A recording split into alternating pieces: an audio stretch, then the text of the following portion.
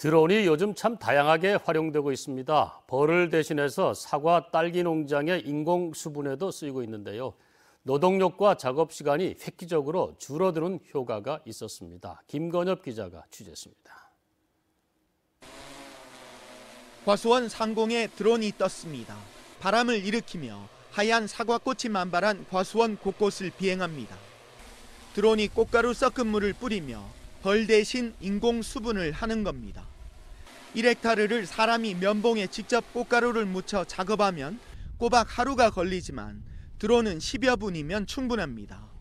그 시간도 줄일 수 있고 인력난도 해소가 되면서 효율도 훨씬 보통 사람 손으로 하는 것보다 훨씬 좋은 것 같습니다.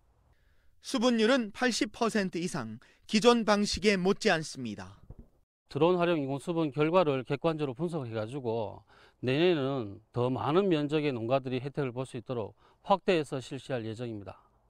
딸기 하우스에서도 드론이 활약하고 있습니다.